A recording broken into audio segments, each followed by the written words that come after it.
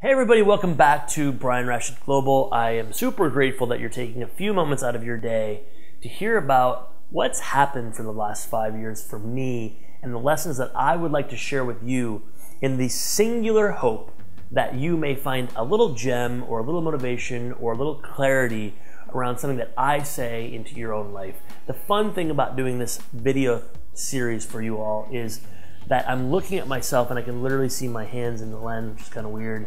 But I'm looking at myself and I can see myself in the mirror of the lens. And essentially, what I'm hoping is that when you watch me, you see me in the shirt and the hair and other things, but you are actually seeing yourself. Because advice, my friends, is autobiography, which means what works for me might not work for you, but what works for me might work for you. And that's why we connect as humans to pick the things that work and leave the things that don't. So, this episode of Brian Rashid Global, we're going to just briefly share with you some of the things that I've learned over five years being an entrepreneur and starting my own business.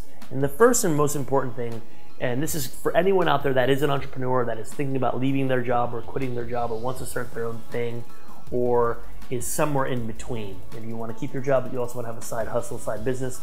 I think that anyone that wants to run their own thing, there are several things that you have to keep in mind that are going to make your journey a little bit smoother.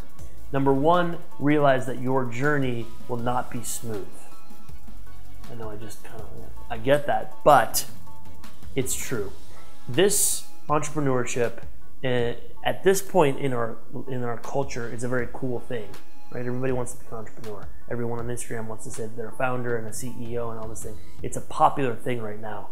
Here's let me tell you what's what really happens as an entrepreneur. It's lonely Everything is on you. You have to invest yourself 1000% into what you're doing. If you don't, you will not succeed. Let me just repeat that. If you are not willing to invest everything that you have into your team, into your product, into your clients, into your thing, you won't succeed. Number two, it's going to be bumpy. Let me share with you a little story. If you guys know my spiel, you probably know, you've probably heard this before, but for the first 18 months of my business, I calculated every single penny that I spent. I'm not even kidding you. I still have the spreadsheet. Every single penny that I spent for 18 months. And I budgeted and budgeted and budgeted and I I ate $3 Trader Joe's salads four times a day or three times a day. I cooked every single one of my own meals. I was living in San Francisco. All my friends who were working at Adobe and Google and Airbnb were going out to fancy restaurants. I would always make up an excuse as to why I couldn't go because the truth was, if I went out for one nice meal or two nice meals, that meant that I literally wouldn't have enough money to pay the rent to keep the business alive. And for me, the business was way more valuable than the gin and tonics, way more valuable than the nice steak, way more valuable than the happy hours. So that for me was the first thing. The second thing I would say about the obstacles is you have to be creative about how you overcome them. You know, and so one way is the obstacles. If you're not making enough money, make more money. But sometimes that's harder said than easier said than done. And so what you have to think about is what are the assets that I have? Is it time? Is it an apartment? Is it whatever? So in my case, it was time and writing talent and apartments. And so what I would do is I would write things for people on different platforms, whether it be my LinkedIn, my blog, or my contribution at Forbes and Huffington Post in exchange for kind of brand equity or in, in, in a more kind of hustle grind way. I had a nice apartment uh, in San Francisco and I would rent it out on Airbnb. I would rent out my apartment on Airbnb. People would come, they would stay. I would make a profit on that apartment.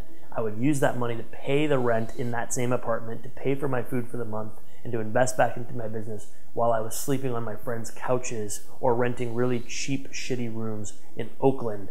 And um, that's how I stayed alive for many, many, many months. And so you have to get scrappy and creative. That's the second thing. The third thing is you have to be militant about surrounding yourself with good people.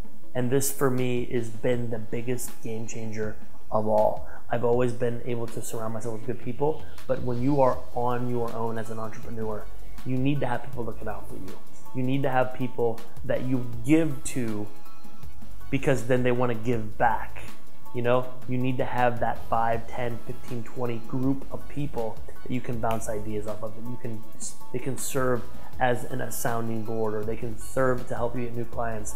The important thing about the connection game is that you give them just as much as they give you. Otherwise, they'll burn out and then they won't want to help you anymore.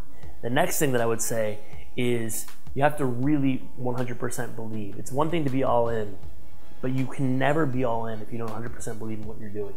You know, and and and you have to really check out why you want to do what you want to do. You know, I make a tremendous amount of sacrifices in my own personal life to have what I have and to continue to build what I build, which is I want to influence millions and millions of people all over the world to be able to make money doing what they love to be able to put aside the fear and put aside the excuses, put aside all the things that they were told growing up as to why they can't do what they want to do, and show them that yes, with enough talent and a whole lot of hard work and a little bit of luck, you can have it too.